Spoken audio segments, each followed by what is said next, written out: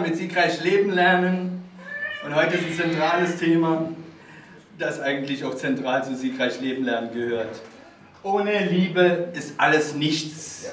Darüber wollte ich heute mit euch sprechen, zu euch sprechen und lass da einfach dein Herz da offen sein für diese Botschaft. Geh da mit und lass dein Herz füllen mit Liebe, mit Liebe von Gott. Ohne Liebe ist alles nichts. Ohne Liebe, was sind wir ohne Liebe? Ja? Wir sind ein Schall und ein Rauch, ein tönerndes Erz, eine klingende Schelle. Ja? Und von daher, lass dein Herz füllen. Darum fülle deinen Liebesspeicher. Das ist so äh, das, was Gott auch will, dass wir unseren Liebesspeicher füllen. Wie es auch im 1. Korinther 13, Vers 13 heißt, nun aber bleiben diese drei Dinge wie diese drei Rehlein, ja? diese drei Skizzen, ist so ein schönes Bild. Ja? Und das drückt es auch so aus. Diese drei Rehlein sollen stehen für Glaube, Hoffnung, Liebe. Aber die Liebe ist das Größte. Ja? Diese drei, aber die Liebe ist die Größte unter ihnen. Und so ist es wichtig. Da müssen wir immer aufpassen, dass unser Herz damit gefüllt ist. Mit Glaube, Glaube an einen lebendigen Gott und mit Hoffnung. Wir haben eine himmlische Zukunft. Der Himmel ist unsere Heimat. Hier sind wir nur auf der Durchreise. Ja? Und mit Liebe. Und die Liebe Gottes will immer kommen und in unsere Herzen einziehen und dort regieren. Und will immer, dass wir da auch ein Liebesspeicher sind. Jedes erlöste Herz, sagt die Corotin Boom, ist ein riesiges, riesiger Vorratsspeicher für das Wirkungsvermögen Gottes, aus dem einmal ewige Freuden geschöpft werden. Darum liegt es an jedem von uns persönlich, inwieweit wir den Liebesspeicher füllen lassen. Und wenn ihr heute schon da seid, dann ist das ein Zeichen dafür, ich will meinen Liebesspeicher füllen lassen von dir, oh Gott. Ich mache mich auf, füll mich. Ich brauche deine Liebe. Meine Liebe ist zu gering. Ich bin zu schwach. Ich bin zu leer. Ich brauche dich. Und ohne dich geht gar nichts. Ja? Und das müssen wir uns bewusst sein. Hebräer 10, 24 heißt es ja auch, lasst uns aufeinander Acht haben und uns anreizen zur Liebe und zu guten Werken. 25, nicht verlassen unsere Versammlung. Ja? Darum ist es gut, zum Gottesdienst zu kommen. Ich habe eine Einladung geschrieben, so, dass wir, ja, Einladung zum Gottesdienst, komm und lass deinen Liebesspeicher füllen. Komm und dafür kommen wir auch zum Gottesdienst. Dafür kommen wir zusammen in Bibelstunde und Gebetsstunde, um uns füllen zu lassen, dass Gott uns begegnet.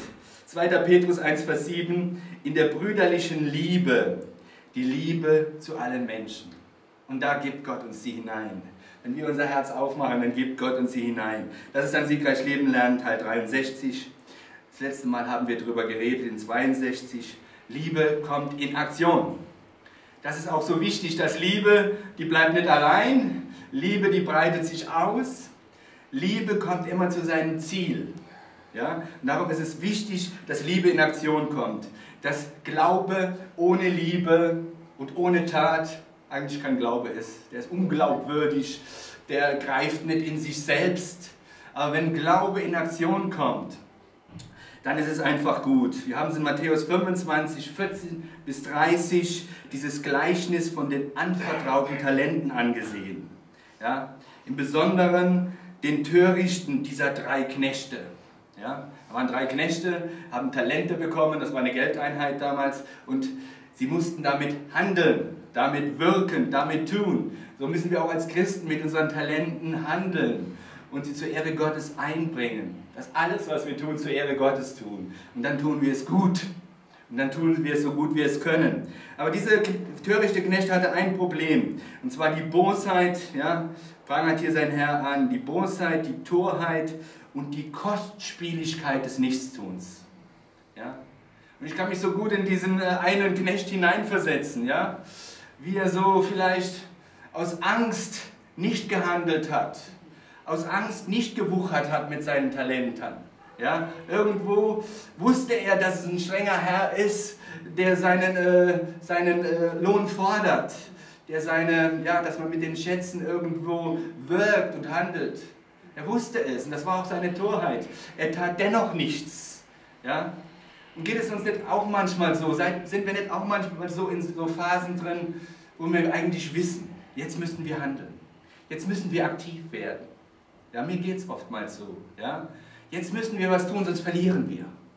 Sonst haben wir einen Verlust. Das kann in Beziehungen so sein, in deiner Ehe, in zwischenmenschlichen Beziehungen. Vielleicht ist es mal dran, sich zu entschuldigen. Ja? Wirklich mal zu sagen, es tut mir leid, dass ich so an dir gehandelt habe. Es tut mir leid, dass ich nicht die Liebe dir geben konnte, die du jetzt gebraucht hättest. Oder die den Trost geben konnte. Ich habe dich wieder mal enttäuscht. Ja? Geht es uns nicht oftmals so, oder? Ja, oder wenn ich jetzt nicht aktiv werde, dann verliere ich. Und so ist es eigentlich, die Liebe Gottes will uns immer in Aktion führen, er will uns immer wieder weiterführen. Und so ist es einfach gut, dass wir mit unseren Talenten und Gaben wuchern, damit wir sie einbringen zur Ehre Gottes. Ja? Aber jetzt zu 1. Korinther 13, Vers 1. Nur die Liebe zählt. Ja? Dieses Lamm ist ja auch ein Bild auf Jesus Christus. Er wurde geopfert als das Opferlamm für die Welt. Er kam um die Welt zu retten. Ja, die Ulrike hat es schon gesagt. Ja? Er kam, um hier Licht reinzubringen in die Finsternis auf diese Erde. Ja? Er kam, um einfach die Herrlichkeit Gottes zu transportieren. Und er kam in seiner Liebe. Ja? Er kam, um die Menschen zu lieben. Und er kam, um sich selbst zu opfern.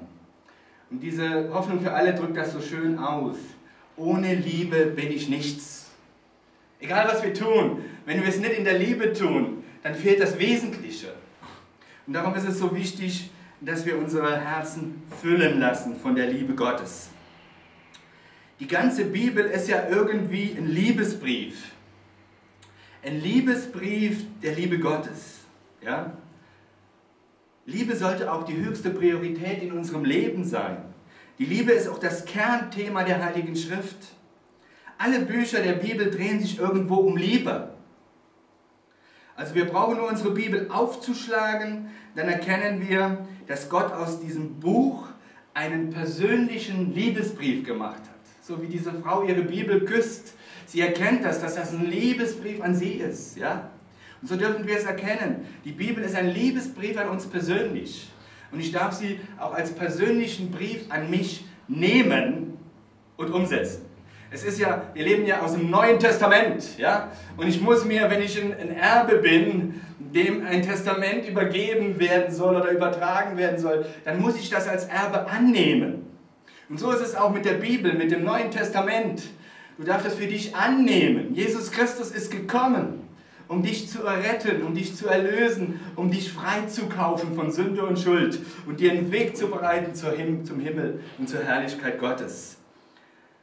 Also es wird uns persönlich zu einer großen Bereicherung, das Wort Gottes aus einem solchen Blickwinkel heraus zu lesen, anzunehmen und zu praktizieren. Das ist Glaube. Ja? Das Wort Gottes für sich zu nehmen, darüber nachzusinnen und es dann zu tun.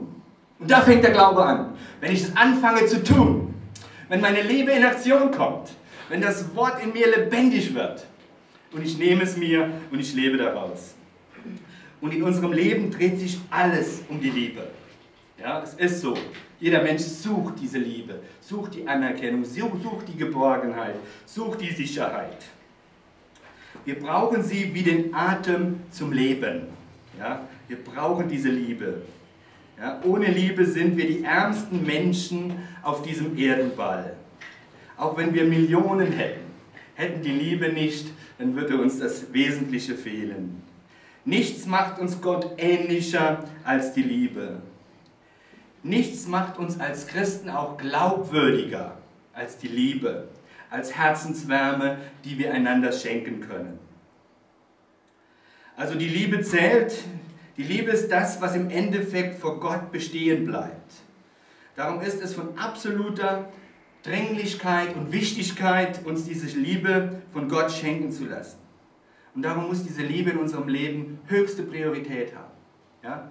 Wie Jesus uns das höchste Gebot gibt. Du sollst Gott lieben von ganzem Herzen, mit ganzem Willen und all deiner Kraft. Und da heraus deinen Nächsten wie dich selbst. Dann lernst du es mal, dich selbst zu lieben, dich selbst anzunehmen, wie Gott dich geschaffen hat. Und du bekommst Liebe von Gott und du kannst sie weitergeben an dein Umfeld. Darum ist es von absoluter vordringlicher Wichtigkeit, dass die Liebe in unserem Leben die höchste Priorität bekommt. Es ist möglich und von uns allen anstrebenswert, ins Auge zu fassen, auch in der Liebe zu wachsen. Ja? Manche sagen, ja, ich habe keine Liebe, woher soll sie kommen? Ja? ja, das ist auch manchmal so, wenn man sein Herz nicht aufmacht und nicht zu Gott kommt, der ja der Geber aller Liebe ist, der der Ursprung aller Liebe ist. Ja? Denn Gott ist die Liebe. Und was von Gott kommt, ist das Gute und das Wohlgefällige. Aber Liebe ist auch ein Wachstumsprozess. Micha 6, Vers 8 sagt uns zum Beispiel, dass wir Gottes Wort, es sei dir gesagt, oh Mensch, was gut ist. Gottes Wort halten, Liebe üben und demütig sein vor deinem Gott. Ja? Also drei Dinge.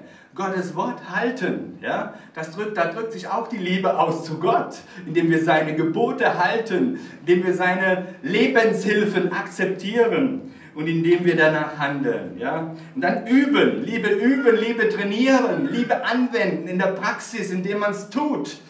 Erkennt man auch den Segen, der da rauskommt. Denn geben ist seliger als nehmen. Ja? Und das ist so ein Prinzip Gottes. Wenn wir es anwenden, erkennen wir auch, was dahinter steht. Ja, und jetzt will ich, dass wir zum Predigtext kommen. Das steht in 1. Korinther, das ganze Kapitel 13, dieses hohe Lied der Liebe. Und dazu habe ich meine Tochter Marisa Sophia gebeten, dass sie kommt und uns diese Botschaft vorliest. Komm bitte und lese uns den 1. Korinther 13 vor und dann lege ich uns, uns aus, so gut wie ich es kann.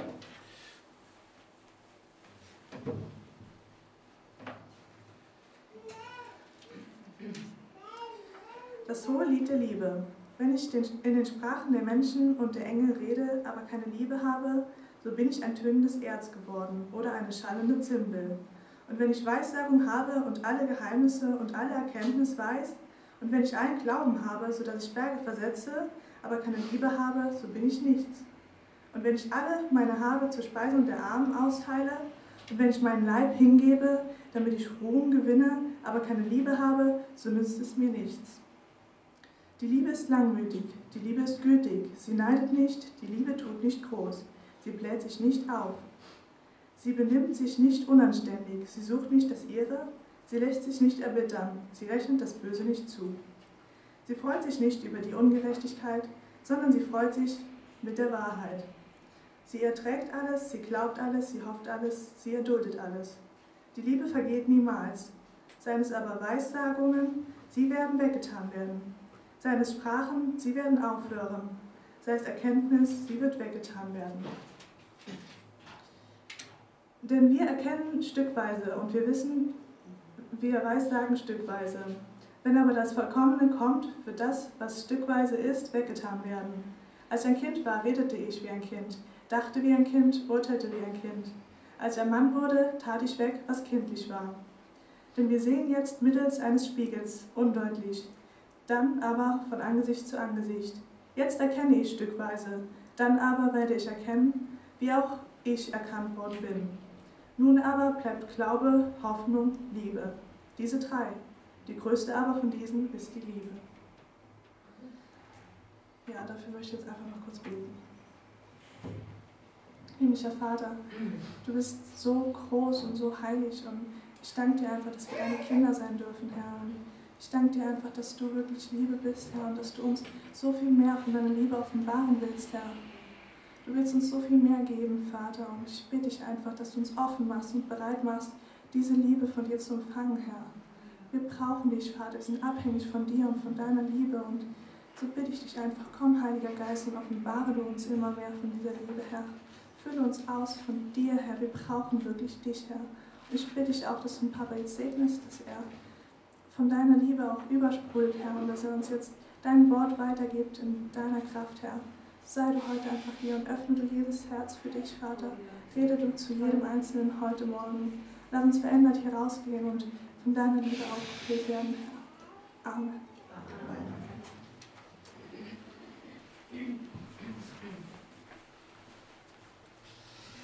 Dankeschön. Ja, also diese Verse können wir uns gar nicht oft genug zu Herzen gehen lassen. Ja? Was Gott uns hier geschenkt hat, das ist so was Großes, das ist unbegreiflich. Und ich denke, das ist der Schlüssel auch, um sich selbst von der Liebe Gottes füllen zu lassen, indem wir begreifen, was Jesus am Kreuz für uns getan hat. Ja? In gewissem Sinne hat Jesus uns ja eine Brücke gebaut zum himmlischen Vater. Ja?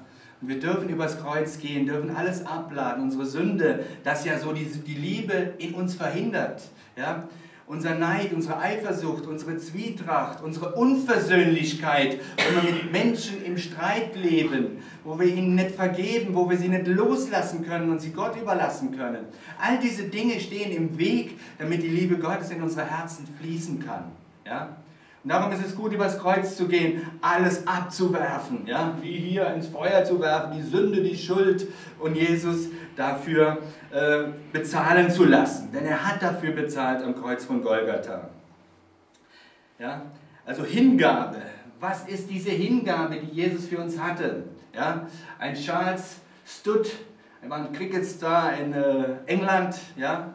Und er hat für sich erkannt, was Jesus getan hat am Kreuz. Und es wurde ihm so groß. Er war ein ganz populärer Cricketspieler. Das ist da viel mehr dieser Sport in England wie hier bei uns.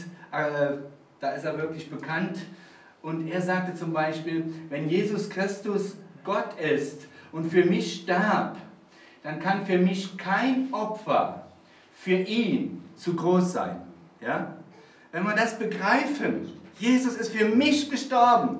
Ich hätte den Tod verdient. Die Hölle wäre eigentlich mein Platz, wo ich hingehöre. Doch Jesus, du hast für diese Schuld bezahlt auf Golgatha. Und wie kann irgendein Opfer dann für ihn zu klein oder zu groß sein, ja? Wir wollen ihm einfach nachfolgen. Aus Dankbarkeit, ja? Für das, dass er uns den Himmel geschenkt hat. Und das lebt einfach in uns, ja? Lukas 22, Vers 17 wird Jesus gefragt, bist du denn Gottes Sohn? Und Jesus sprach zu ihnen, ihr sagt es, ich bin es. Ja?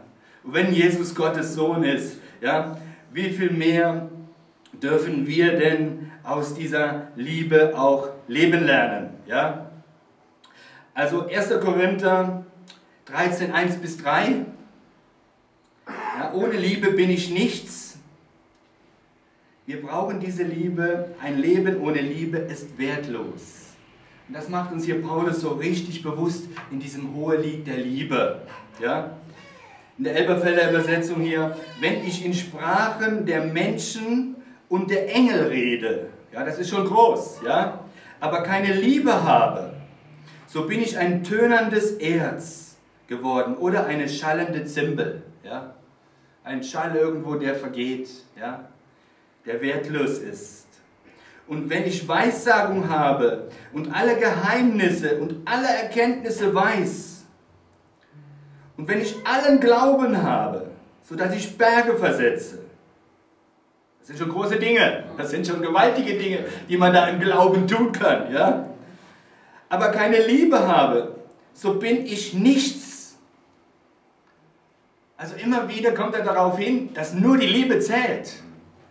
Dass wir es alles in der Liebe tun müssen. In Vers 3, und wenn ich alle meine Habe zur Speisung der Arme austeile, und wenn ich meinen Leib hingebe, damit ich Ruhm gewinne, aber keine Liebe habe, so nützt es mir nichts. Ja? Also du kannst alles den Armen geben, du kannst irgendwie, gestern war auch wieder diese große Spendenaktion in Deutschland, diese Spendengala, ein Herz für Kinder und alle Deutschen haben da ja, viele Deutsche haben da mitgemacht und das ist gut so. Ja, das ist gut so. Ich freue mich daran. Da sind 14 Millionen, über 14 Millionen zusammengekommen für die Kinder, die in Not sind, in Krankheit irgendwo, ja, denen geholfen werden muss. Und ich freue mich, dass auch Deutschland so gebefreudig ist, auch die Prominenz, dass sie da ruhig mal ein bisschen was reinfließen lassen. Die haben es ja auch im Überfluss. Ja? Aber die Liebe, ja, wenn ich das auch alles tue, nicht aus der rechten Motivation, dann nützt es nichts. Ja? Ich muss es aus der Liebe heraus tun, die Gott in mein Herz legt. Also das Wichtigste im Leben ist die Liebe. Ja? Also man könnte auch sagen, durch die Macht der Wiederholung macht Paulus uns dies bewusst. Fünfmal spricht er hier davon. Ja? Wenn wir keine Liebe haben, dann zählt all unser Reden nichts. Ja, so muss auch alle Rede, und wenn ich hier predige, muss es aus Liebe geschehen. Sonst ist es auch Schall und Rauch. Ja? Alle Lehre, die Hauptsumme der Schrift ist Liebe. Ja? Ist immer wieder Liebe. Und er sagt hier, ja, äh, wenn wir keine Liebe haben, dann zählt all unser Reden nichts. Ja? Dann zählt all unser Wissen nichts. Ja? Du kannst auch die ganze Bibel wissen, auswendig kennen. Ja? Aber wenn du dennoch keine Liebe hast, dann zählt es auch nichts. Dann zählt auch all unser Glaube nichts. Ja? Du Berge versetzen kannst im Glauben, hast aber die Liebe nicht, zählt auch nichts. Und all unseren Einsatz und all unser Geben ist auch nichts. Hier in Vers 5 und all äh, die Anerkennung, die wir bekommen, alles ist nichts ohne Liebe. Also interessant, also wir können ein fantastischer Redner sein, über das Wissen eines Genies verfügen, den Glauben eines Wundertäters haben die Großzügigkeit in Person. Und wir können die Anerkennung eines Millionenpublikums haben. Aber wenn es nicht aus der Liebe geschieht, dann fehlt das Wesentliche. Ja? Dann fehlt das Wesentliche. Und das ist wirklich so. Gehen wir zum nächsten Bild. Ja? Jesu Liebe ging bis ans Kreuz. Ja? Jesu Liebe ging bis ans Kreuz und das dürfen wir wissen. Ja? Und diese Liebe, die motiviert uns. Ja? Diese Liebe motiviert uns. Ja? Hier dieser bekannte Spruch, am Tag seiner Kreuzigung traf Jesus eine Entscheidung. Er wollte lieber für dich in die Hölle gehen, als ohne dich in den Himmel. Das ist interessant, ja? Also Jesus äh, war es ein Anliegen, dass du mit ihm kommst, ja? Dass du mit ihm in den Himmel gehst. Und diese Liebe soll uns auch motivieren. Diese Liebe motiviert uns. Ja? Die Liebe motiviert uns zu lieben. Max Lucado sagte einmal, würdest du dich wie Jesus verhalten, wenn du Gott wärst? Er tauschte den Himmel gegen einen schmutzigen Stall ein, die Anbetung der Engel gegen die Gesellschaft von Mördern. Ja, er kam mitten unter die Römer. Ja, und das war wirklich eine Herrschaft, die war knallhart. Ja.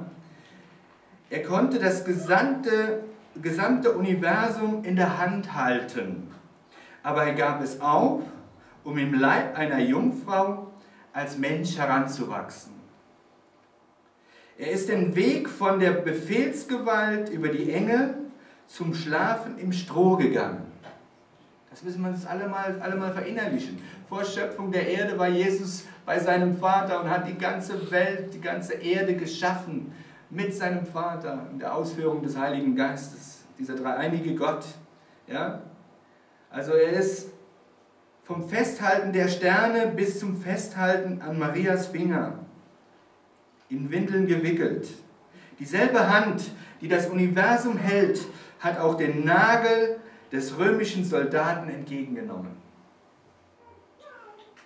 Warum hat er das alles getan? Weil sich so die echte Liebe verhält. Sie stellt den geliebten Menschen über sich selbst. Deine Seele war ihm wichtiger als sein Blut. Ja? Und dein Platz im Himmel war ihm wichtiger als sein Platz. Das ist, diese Liebe ist unbeschreiblich, ja? und lass dich von dieser Liebe anstecken. Begreife diese Liebe, ja? Lass dieses, diese Liebe dir bewusst sein. Es ist wirklich so, Jesus hat es am Kreuz vollbracht.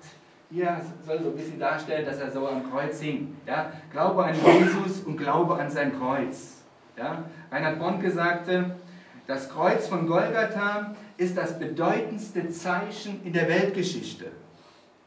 Das Kreuz von Golgatha ist das Zentrum unseres Lebens. Jesus starb für uns. Und dieses Ereignis war eine kosmische Explosion der Liebe und Güte Gottes. Das ist wirklich, das ist Liebe pur. Ja? Und das müssen wir begreifen. 1. Korinther 1,18 sagt uns ja, denn das Wort vom Kreuz ist eine Torheit denen, die verloren werden. Uns aber, die wir selig werden, ist es eine Gotteskraft. Wenn du es begreifst, wenn du es fassen kannst, wenn der Geist Gottes es dir lebendig macht. Und ich wünsche dir so erleuchtete Augen des Herzens, dass das so richtig wieder in dein Herz fällt. Auch den alteingesessenen Christen, die schon 10, 20 Jahre mit Jesus gehen oder 30 oder 40, ja, die müssen das immer wieder neu erfassen. Und es muss sie wieder neu begeistern. Wenn Christen nicht begeistert sind, haben sie nichts zu geben. Wenn Christen davon nicht erfasst sind von dieser Liebe und voller Dankbarkeit in dieser Liebe auch wirken, dann fehlt ihnen das Wesentliche. Ja? Okay, aber jetzt zum Predigtext. 1. Korinther 13. Ja? Ja, 1 bis 3 haben wir gehört, jetzt gehen wir mal zu 4 und 5. Ja? Diese Pferde. Ja, ich habe einfach mal Tierbilder geholt. Ich wollte mal Tierbilder holen, die da schön reinsprechen und auch die Liebe Gottes irgendwo transportieren. Und 1. Korinther 13, 4 und 5 ist so gewaltig, ja, was das in sich trägt. Ich habe ein siegreich Leben lernen, vier Teile über diese Verse gepredigt, über diese zwei Verse gepredigt. Interessant, ja. Das war siegreich Leben lernen, 14 bis 17. Was da alles drinsteckt, das kann ich uns jetzt in einer Predigt gar nicht auslegen, will ich auch nicht, will auch nicht groß darauf eingehen. Aber mach es dir einmal nochmal bewusst, die Liebe ist geduldig, das ist die Hoffnung für alle Übersetzungen. Sie gibt das gut rüber. Ja? Die Liebe ist geduldig. Sei auch du geduldig. Ja? Hab Geduld mit deinem Bruder, deiner Schwester, deinem Ehepartner, deinen Kindern. Hab Geduld mit Menschen. Ja? Denn Geduld ist ein großes, irgendwo der Flaggschiff, habe ich gesagt, ja, das Flaggschiff der Liebe. Wenn wir Geduld aneinander haben und Geduld auch aneinander üben. Und die macht uns wiederum freundlich. Freundlichkeit ist eine starke, eine starke Attribut oder Aspekt der Liebe. Ja? Freundlichkeit bricht dem Teufel die Knochen. Ja? Darum sei freundlich, wie du in den Wald hineinrufst, so schallt es zurück. Übe Freundlichkeit. Freundlichkeit ist gut. Ja? Sie kennt keinen Neid. Neid ist nicht in deinem Herzen. Wenn es dem anderen gut geht, bist du froh. Du freust dich daran, wenn es dem anderen gut geht. Ja? Und du bist dankbar dafür. Ja? Sie kennt keinen Neid, keine Selbstsucht. Du suchst nicht die Anerkennung, du suchst nicht die Bestätigung, du suchst nicht das Deine. Ja? Du bist nicht mehr selbstsüchtig. Sie prahlt nicht. Ja? Sie prahlt nicht. Sie gibt nicht an. Ja? Die Liebe und ist nicht überheblich. Das müssen wir uns immer wieder schenken lassen. Es hat immer mit Demut zu tun.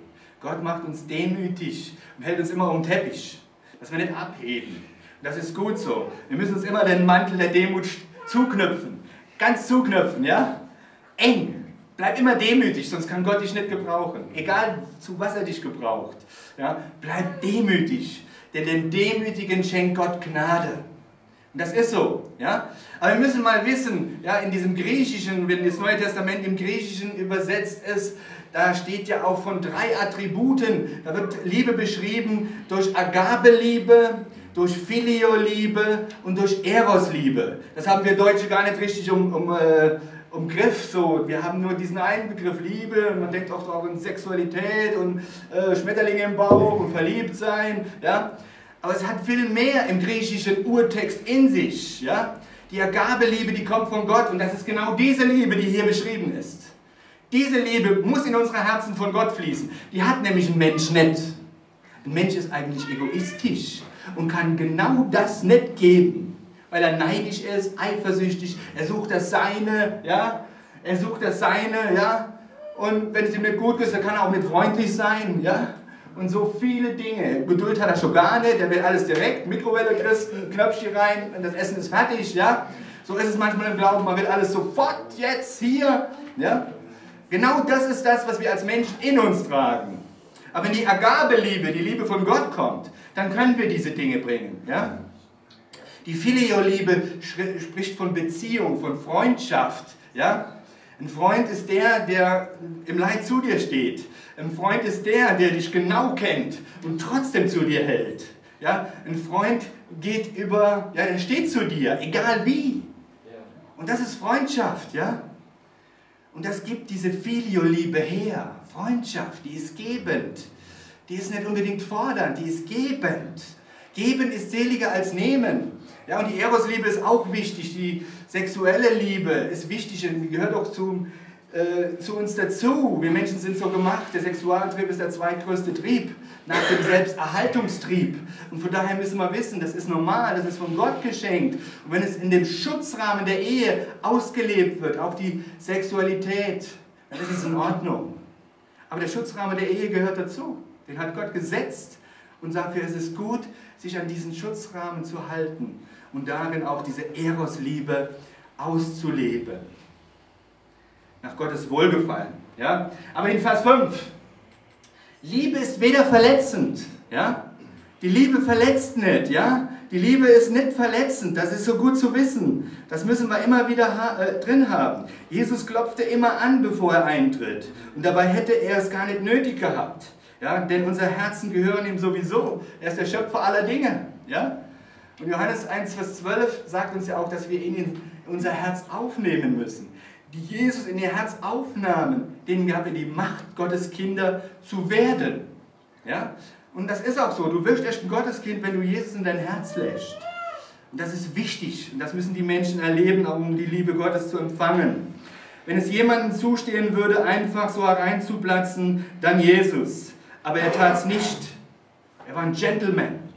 Er war uns darin ein Vorbild. Was ist dieses zarte Klopfen an dein Herz? Ja, wenn Jesus an dein Herz klopft, ich will da rein. Klopft an deine Herzenstür, lass mich rein. Ich will da regieren. Ja? Und Jesus will nicht nur dein Herz rein, er will auch, dass du in den Schlüssel übergibst deines ganzen Lebens, der mir nachfolgen will, der nehme sein Kreuz auf sich und folge mir nach. Ja? In Offenbarung 3, Vers 20 heißt es, siehe, ich stehe vor der Tür und klopfe an. Wenn jemand meine Stimme hören wird und die Tür auftun, zu dem werde ich hineingehen und das Abendmahl mit ihm halten und er mit mir. Ja? Also wenn du auf die Stimme Jesu antwortest, dann wartet er darauf, dass du ihn hineinbittest. Ja? Also die Liebe ist nicht verletzend, noch auf sich selbst bedacht, weder reizbar, Oh, jeder von uns ist irgendwo reizbar. Wenn man seine Schmerzgrenze trifft, wenn man seine Wundepunkte trifft, dann ist er irgendwo reizbar, dann ist er irgendwo gern explosiv und geht in die Luft. Ja? Wenn er verletzt ist, jeder hat irgendwo Schwachpunkte. Wenn du ihn da triffst, ja, an seinen Schwachpunkten, dann ist er schnell verletzt und beleidigt ja, und enttäuscht. Ja? Und die Liebe lässt dich nicht mehr verletzen. Die Liebe hat den Brustpanzer der Gerechtigkeit an. Jesus ist meine Gerechtigkeit. Ich lege mir den Gürtel der Wahrheit an. Ich ziehe mir den Helm des Heils an. Ich nehme den äh, Schild des Glaubens, wo alle feurigen Pfeile der Beleidigung, ja, der Verletzung abprallen. Hier brauche ich das Schild des Glaubens. Und ich nehme mir das Schwert des Geistes und kämpfe und schlage einfach den Feind und alle Angriffe in die Flucht mit dem Wort Gottes. Sie überwanden durch des Lammes Blut und durch das Wort in ihrem Munde. Ja? Du nimmst das Schwert des Geistes, welches das Wort Gottes ist, und du schlägst alle feurigen Pfeile mit dem Glauben und mit dem Schwert in die Flucht und ziehst die Stiefel der Bereitschaft an, für Gott zu stehen, für Gott zu wirken, für ihn Botschaft zu sein. Ja? Und das ist eine gute Entscheidung. Also ohne Liebe ist alles nichts. Ja? Nur die Liebe zählt. Liebe sollte die höchste Priorität in unserem Leben haben, das wichtigste Ziel. Und wir sollten unseren ganzen Ehrgeiz in sie setzen. Und wir werden in der Ewigkeit von unserem Liebespegel beurteilt werden. Ja? Also wir werden von unserem Liebespegel her beurteilt werden. Das ist, glaube ich, so das, was Jesus genau sieht, was der Vater im Himmel genau sieht, wie weit wir unseren Vorratsspeicher gefüllt haben, wie weit die Liebe in uns regiert hat. Ja? Denn ohne Liebe bin ich nichts, aber mir würde die Liebe fehlen, so wäre das alles nichts. Nur eins wird bleiben, die Liebe. Und dann die, das letzte, der letzte Vers in diesem Kapitel, die Rehlein wieder, ja, das letzte Vers, was bleibt, sind Glaube, Hoffnung und Liebe aber die Liebe ist das Größte unter ihnen. Ja? Und so muss die Liebe in uns regieren. Ja? So soll die, äh, die Liebe in uns regieren. Und jetzt kommen wir zur Ölstandsmessung. Ja? Wie merke ich, wie mein äh, Leben irgendwo gefüllt ist mit der Liebe Gottes? Ja? Es gibt so dieses schöne Bild, ja, messe auch deinen geistlichen Ölstand, ja, habe ich auch drüber gepredigt, ja, die Ölstandsmessung mit Bezug auf Salbung, ja. Ich muss mal gucken, wenn ich da kein Öl mehr im Auto habe, dann muss ich mal gucken, wo, wo, da muss ich ein bisschen was nachfüllen, ja. Und so ist es einfach. Wenn da zu wenig drin ist, dann läuft der Motor kaputt, ja. Und das ist so wichtig, was, was tue ich, wie fülle ich meinen Liebesspeicher, ja. Der Öltank äh, muss gefüllt werden, damit er läuft. Also auftanken. Was tue ich, um aufzutanken? Das hat mal in einem Dienstkalender gestanden, hat mir gut gefallen. Was tue ich? Was tust du dafür und wo gehst du hin, um geistlich aufzutanken? Wenn du im Gottesdienst bist, ist schon mal gut. Ja? Da bekommst du geistliche Speise. Ja, wenn ich euch was erzähle, dann ist das auch was, wo du aufgetankt wirst. Denn nur Geliebte können lieben.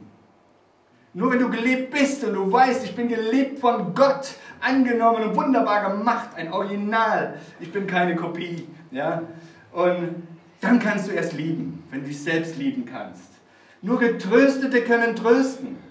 Selbst wenn du den Trost Gottes in deinem Leben erlebt hast, wie der Heilige Geist, der der beste Tröster ist, aller Tröster, dich getröstet hast und das erlebt hast, dann kannst du auch selbst trösten. Du gibst diese Liebe weiter, du tröstest, du ermutigst, du richtest auf, du hilfst auf, du greifst unter die Arme.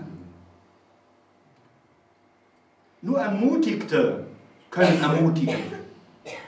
Und du, der Vater im Himmel und Jesus Christus, der ermutigt dich jeden Morgen durch seinen Heiligen Geist, wenn du zu ihm kommst, wenn du ins Kämmerlein gehst, liest sein Wort, ja, redest mit ihm, da wirst du ermutigt.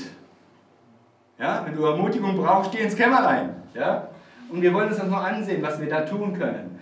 Nur äh, Inspirierte können inspirieren. Nur die selbst inspiriert sind vom Heiligen Geist, der dieser kreative Geist ist, der uns so viel Gutes gibt. Ja?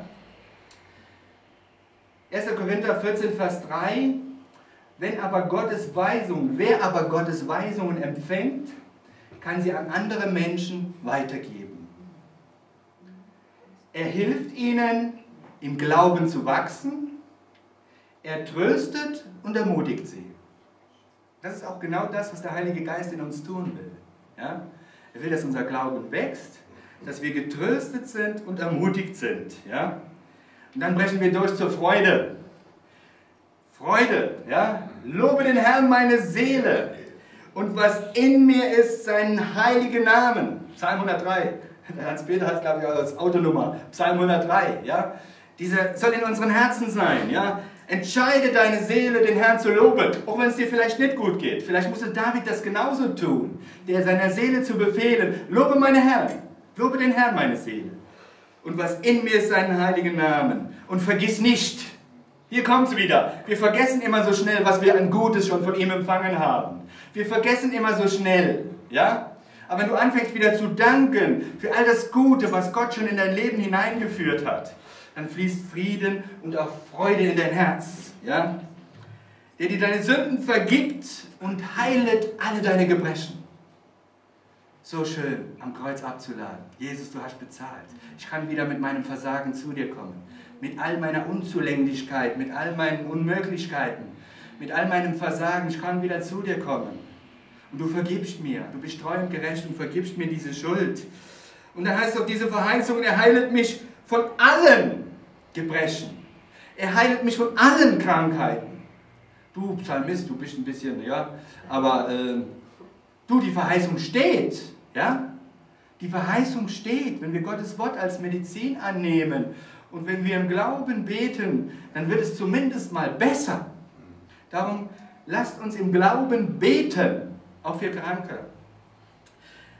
Sünden vergibt und heilet alle deine Gebrechen, der dein Leben vom Verderben erlöst und der dich krönet mit Gnade und Barmherzigkeit. Ja? Der dein Leben vom Verderben erlöst, von der ewigen Verdammnis. Ja? Und dann wirst du wieder jung wie ein Adler. Das ist ein wunderbarer Psalm, ja. Und wir sollen jung sein. Wir sollen Ermutigte sein. Wir sollen wirklich hier loben den Herrn. Jesus gibt Freude, die von innen kommt. Wenn du das praktizierst, ja, du kommst zum Herrn. Ich will dich loben. Ich will dir danken. Ja? Ich will dich preisen. Ja? Und du kommst in mein Leben rein, heilst mich an Geist, Seele und Leib. Wenn du nur am Leib Gesundheit empfängst und Wiederherstellung, ist das sowieso zu wenig. Du brauchst in deiner Seele Heilung, damit du diese Agabeliebe, wie wir eben gelesen haben, leben kannst, anwenden kannst, damit deine Seele gesund wird, damit du vergeben kannst alle denen, die an dir schuldig geworden sind, die dich so verletzt haben, die dir so wehgetan haben. Aber du lässt sie los und du wirst frei. Und die Freude, die von innen kommt, fließt wieder in dein Herz. Und das ist das Schönste, was so ein Mensch erleben kann, diese Freiheit. Ja? Denn Christus kam, um dich freizusetzen. Von aller Sünde, von aller Unzulänglichkeit, von aller Unversöhnlichkeit, damit du jung bist wie ein Adler. Ja? Gehen wir weiter. Die Freude, die von innen kommt. Und da sind wir nicht von Gefühlen abhängig. Christen, die von Gefühlen abhängig sind, das sind Jojo-Christen. Jojo-Christen. Heute geht es ihnen gut, morgen geht es ihnen schlecht. Jojo geht hoch, Jojo geht runter. Ja? ja, und so sind viele. Ja? Das Wetter mal nicht so schön ist, lassen sie sich runterziehen. Ja? Oh, aber das ist halt, oh, und alles, was so ihre Augen sehen, oh, und dann geht, geht ihnen schon schlecht. Und dann ist alles, was sie vorher mit Gott hatten, ist schon wieder weg. Ist schon wieder weg. Und das ist traurig, das ist nicht zum Lachen. Das ist traurig, das ist Jojo-Christentum. Ja? Wigliswald sagt zum Beispiel, der Glaube an das Wort ist die Wurzel. Gute Gefühle sind die Frucht. Gefühle verändern sich, Gottes Wort nicht. Deswegen halte dich fest am Wort Gottes. Halte dich fest an den Verheißungen Gottes. Und wenn deine Gefühle dich betrügen wollen, komm zurück zum Wort Gottes. Ersetze Gedanken, die sich erheben gegen, in deinen Gefühlen. Ja? und ersetzt sie mit der Wahrheit Gottes. Ja? Das Wort hebt deine Gefühle. Das ist so. Sei kein Gefühlschrist. Ja? Jesaja 61. Rick hat 60 gelesen als 61. Jesus kam. Er hat mich gesandt, den Elenden gute Botschaft zu bringen, die zerbrochenen Herzen zu verbinden, zu verkündigen den Gefangenen die Freiheit. Sei kein Gefühlschrist. Komm zur Zapfsäule. Ja? Geh immer wieder ins Wort Gottes. Also ein Christ, der ein Jojo-Christ ist, der ist oftmals auch nicht fest verankert mit dem Wort Gottes. Der steht nicht da drin und hat das nicht als seine tägliche Lektüre. Ja? Und er hält sich nicht dran fest. Ja, aber wenn du Energie brauchst und dass deine Gefühle sich auch heben, dass du Glauben bekommst, musst du dich festmachen, wie du mit dem Auto tanken gehst. Ja? So musst du dich festmachen hier an der Bibel, an Gottes Wort. Keine Power, hol dir wieder neue Energie, geh an die Zapfsäule und pflege das Gebet. Ohne Gebet geht gar nichts. Ohne Gebet bin ich kraft- und saftlos. Ich brauche Gebet, damit mein Liebestank gefüllt wird. Ja? Und es ist schön, wenn wir es lernen als Christen, das Gebet genießen, zu genießen. Das Gebet ist was Wunderbares. Die Gegenwart Gottes ist nicht Audienz beim Papst, ist Audienz bei dem allmächtigen Gott. Und die ist besser wie beim Papst. Ja? Und von daher genieße es, ins Kämmerlein zu gehen, dich von der Liebe Gottes einhüllen zu lassen. Klettere bildlich auf den Schoß des Vaters und lass dich lieben von seiner Liebe. Nimm diesen Liebesbrief und nimm ihn dir persönlich als Testament. Ja, nimm dieses Erbe an. Ja? Verstehen Sie das Gebet weniger als eine Aktivität für Gott, als vielmehr ein Bewusstwerden seiner Gegenwart einfach nur die Liebe Gottes zu spüren. Egal wo. Wenn du im Bett betest, wenn du im Kämmerlein betest, auf deiner Couch, auf deinem Lieblingssessel. Ja?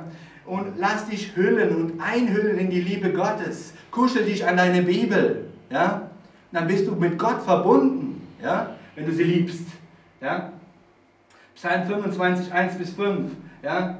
Nach dir, Herr, David drückt es hier so schön aus, verlangt's mich. Mein Gott, ich hoffe auf dich. Herr, zeige mir deine Wege und lehre mich deine Steige. Zeig mir deinen Plan, den du für mein Leben hast. Ja?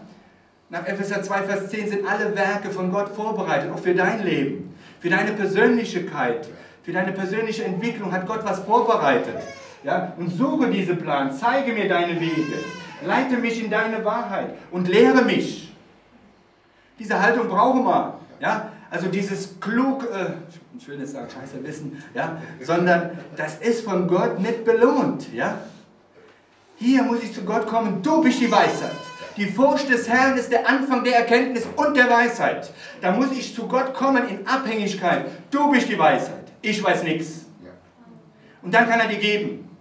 Dann bist du leer. Es ist so gut, wenn Christen leer sind.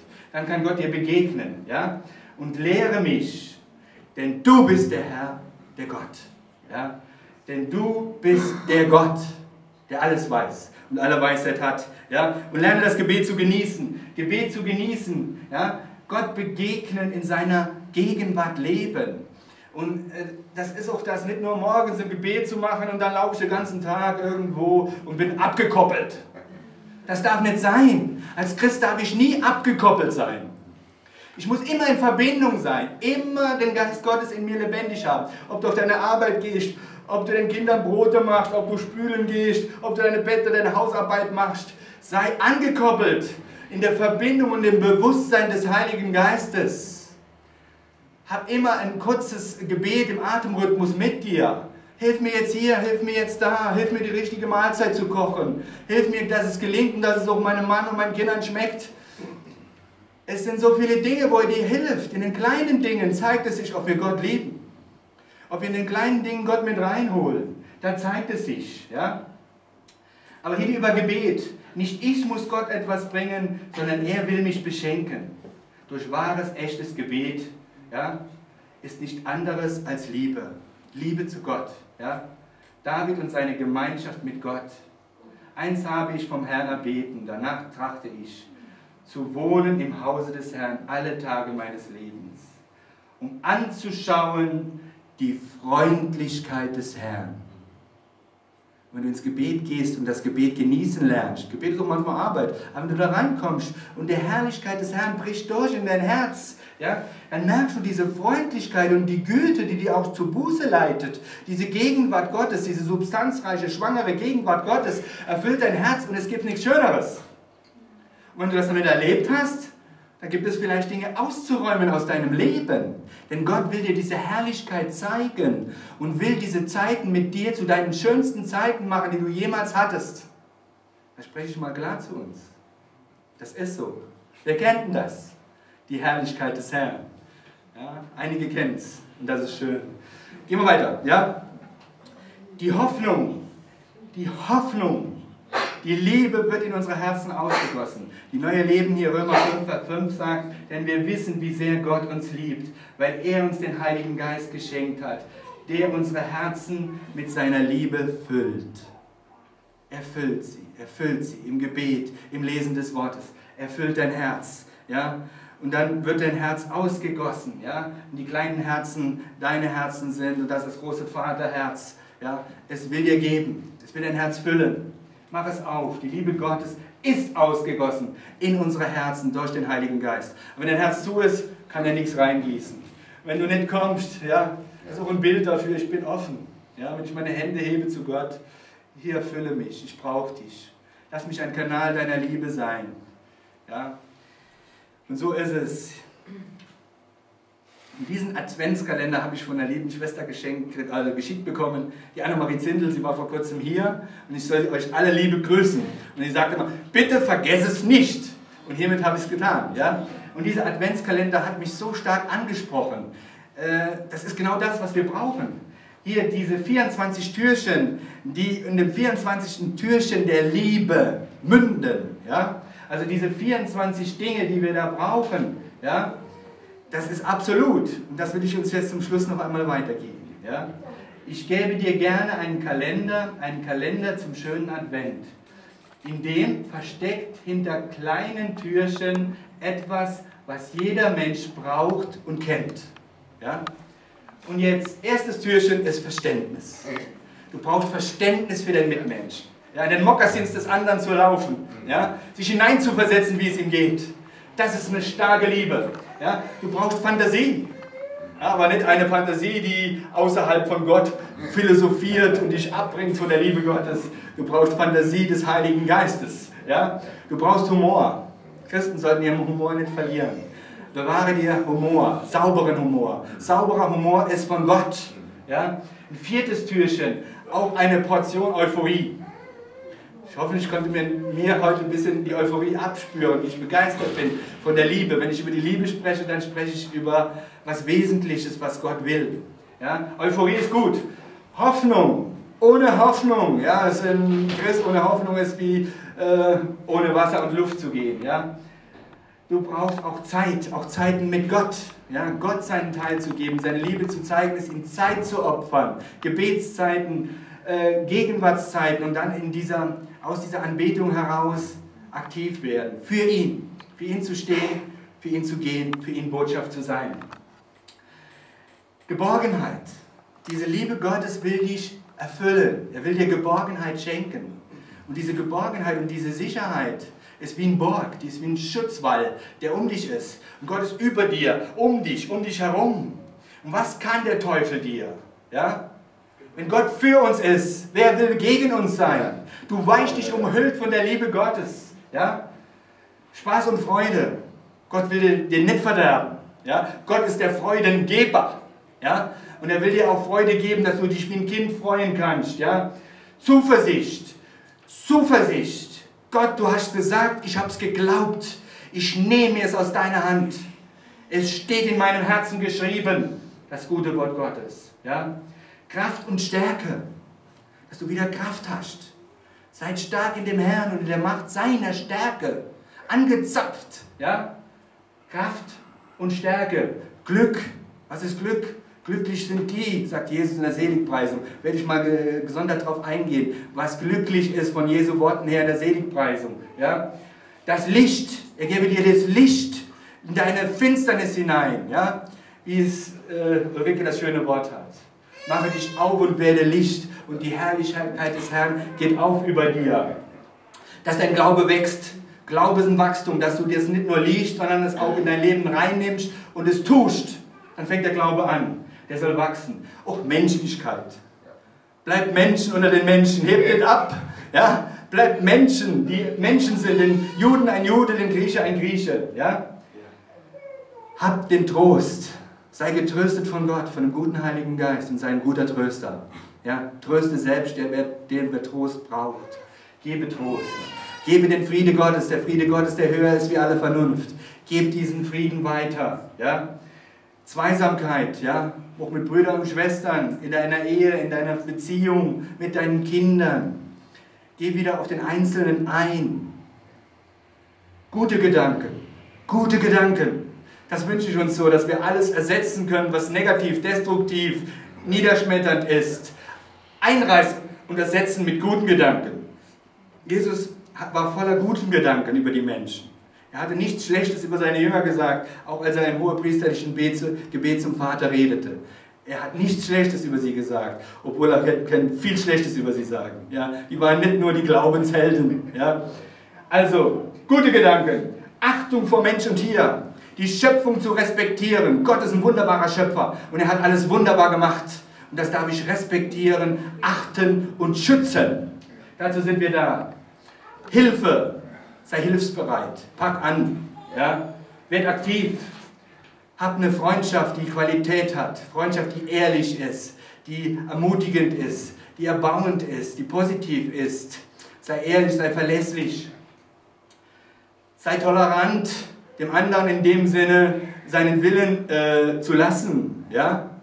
Das ist auch etwas, was wir im Vaterherzen gehört haben. Ja? Er gab seinem Sohn den freien Willen, geh. Ja? Wenn du gehen willst, Sohn, geh. Ja? Und wir sollen das nicht beschneiden, wir sollen immer die Freiheit lassen. Ja? Toleranz und die innere Ruhe. Der Friede Gottes muss in unsere Herzen kommen, gerade in dieser Adventszeit, wo alles irgendwo im Stress ist, in Vorbereitungszeit, wie das schöne Fest alles schön zu machen. Ich sage immer lieber, schmeiße ein paar Wiener, Wiener in, die, äh, in die Schüssel und äh, koche ein paar Wiener, mach weniger, nicht die große Ente, die nur Stress macht. Ja? Und hab Ruhe, hab Frieden. Komm, liebe deine, deine Leute, die in deiner Familie sind. Gib ihnen Geborgenheit, gib ihnen Sicherheit. Mach nicht das Große. Wenn du ein Festessen machst, okay, soll mir auch recht sein. Aber mach's mit Liebe. Ja? Innere Ruhe. Und das ist alles geborgen hinter dem Türchen 24. Ja? Die Liebe. Hinter dem Türchen am heiligen Abend sind keine Geschenke, nicht Reichtum und Geld. Hinter diesem Türchen, da ist die Liebe, das Größte und das Wichtigste auf dieser Welt. Und jetzt will ich doch einmal beten. Lass uns aufstehen und noch einmal für diese Liebe beten. Ja, Gott ist so gut. Vater, wir danken dir, dass die Liebe Gottes und der Friede Gottes höher ist wie alle Vernunft. Und dass du ein Gott der Liebe bist. Gott ist die Liebe. Und wer in der Liebe bleibt, der bleibt in Gott und Gott in ihm. Und ich danke dir so, dass du diese Liebe in unsere Herzen ausgießt, Herr. Und du siehst jeden Einzelnen, wo dort auch Hindernisse sind, dass die Liebe von dir nicht hineinfließen kann. Und ich bitte dich, mach jedem Einzelnen bewusst, dass er diese Schleusen aufmacht, vielleicht auch der Unversöhnlichkeit, der Bitterkeit, des Neides, der Eifersucht, der Zwietracht, des Haders, des Zweifelns an dir. Nimm diese Schleusen weg, Vater, und gib, Herr, dass diese Liebe wieder hineinfließen kann, dass jeder Einzelne deine Liebe empfangen kann, deine Liebe spüren kann. Segne jeden einzelnen Zuhörer und erfülle ihn mit deinem guten Heiligen Geist. Denn die Liebe Gottes ist ausgegossen in unsere Herzen durch den Heiligen Geist. Vater, wir danken dir da von ganzem Herzen in dem wunderbaren Namen Jesus. Amen. Amen.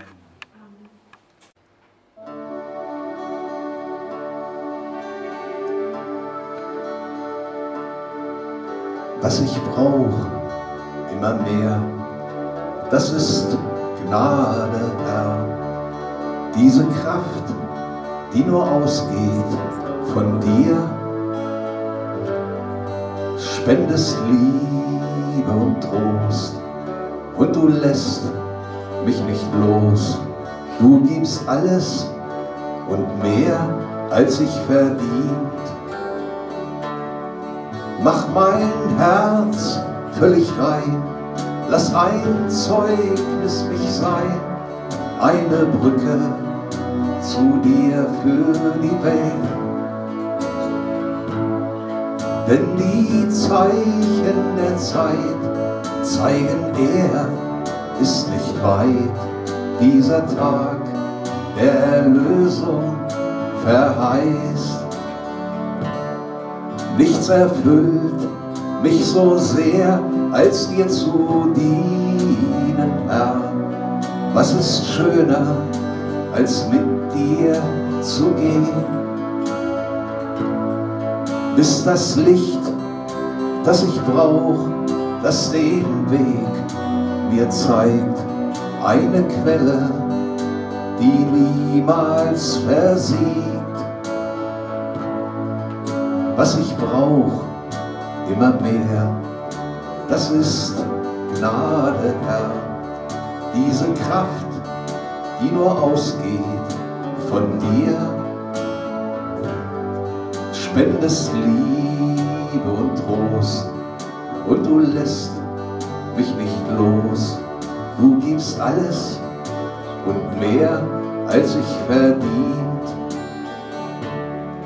Mach mein Herz völlig rein, lass ein Zeugnis mich sein, eine Brücke zu dir für die Welt. Denn die Zeichen der Zeit zeigen, er ist nicht weit, dieser Tag der Erlösung verheißt. Nichts erfüllt mich so sehr, als dir zu dienen, Herr. Was ist schöner, als mit dir zu gehen?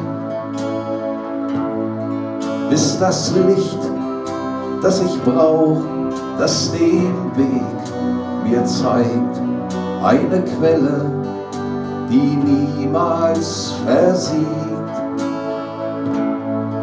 Was ich brauch, immer mehr, das ist Gnade, Herr. Diese Kraft, die nur ausgeht von dir, spendest Liebe und Trost und du lässt mich nicht los. Du gibst alles und mehr, als ich verdien. Mach mein Herz völlig rein, lass mein Zeugnis mich sein, eine Brücke zu dir für die Welt. Denn die Zeichen der Zeit zeigen, er ist nicht weit. Dieser Tag der Erlösung verheißt. Nichts erfüllt mich so sehr, als dir zu dienen, Herr. Was ist schöner, als mit dir zu gehen? Bis das Licht, das ich brauch, das den Weg mir zeigt, eine Quelle, die niemals versiegt.